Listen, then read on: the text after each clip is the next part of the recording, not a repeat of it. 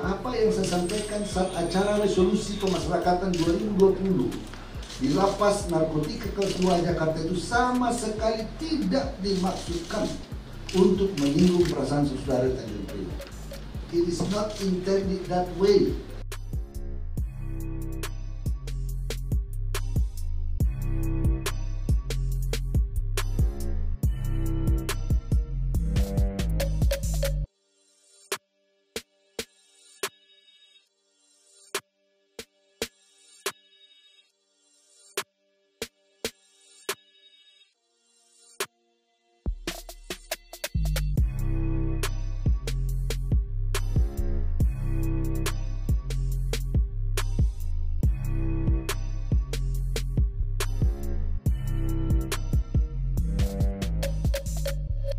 Ini ada draft konvensi pers. Saya baca persis dengan ini supaya jangan nanti dipelintir lagi. Supaya jangan dipelintir.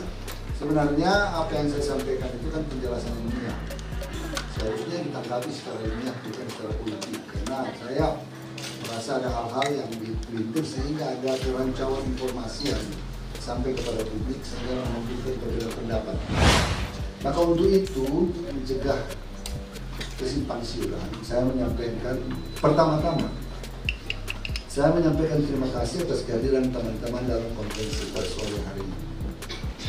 Yang kedua, saya menyampaikan juga terima kasih bahwa saya diingatkan oleh saudara-saudara saya warga Tanjung Priok sekaligus ini menjelaskan bahwa apa yang saya sampaikan saat acara resolusi pemasyarakatan 2020 di lapas narkotika kelas 2 Jakarta itu sama sekali tidak dimaksudkan untuk menyinggung perasaan saudara Tanjung Priok.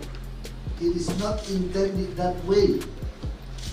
Ya, karena di acara itu ya ada Pak KBW, KBNN, ada Pak KBNPT. Boleh di cross check kepada KBNN maupun KBNPT, ada mewakili Polri, Kapolri, ada lain boleh ditanyakan sebetulnya yang sebenarnya apa yang disampaikan supaya jangan ada. Namun demikian saya menyampaikan.